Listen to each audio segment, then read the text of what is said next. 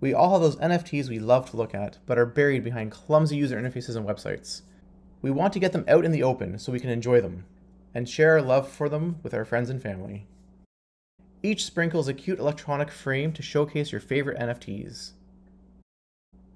Each sprinkle is also an NFT which you can buy, trade, sell, or otherwise manage on-chain.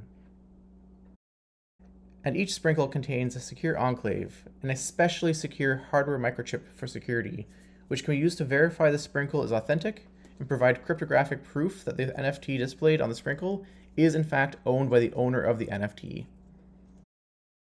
Originally we had planned a very different form factor, but some of the parts did not arrive in time, so we had to pivot pretty hard, but we're quite happy with the end result.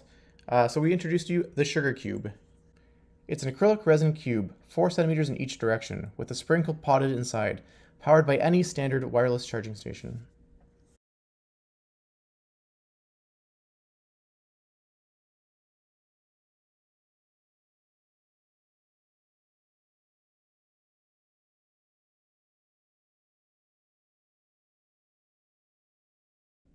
So here is this uh, dashboard for us to set up the sprinkle and decide what image to display on the sprinkle.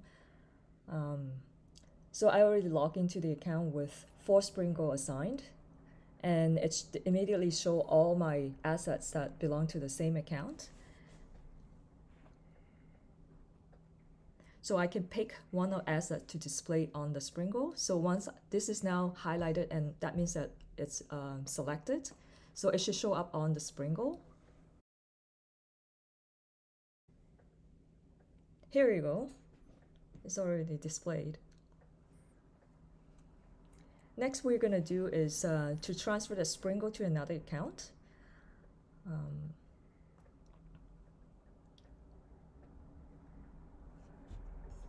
so this is, I'm going to the, the other account which has uh, some crypto, crypto kitties.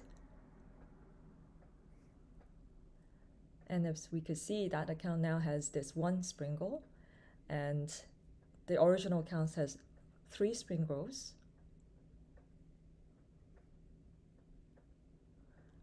Now I'm going back to the new account that has, just been transferred the sprinkle, and now um, all my crypto kitties on that account showing up, and I can pick one of my uh, CryptoKitties on this account. So it will eventually display on the Sprinkle that was just transferred to me. There you go. Voila.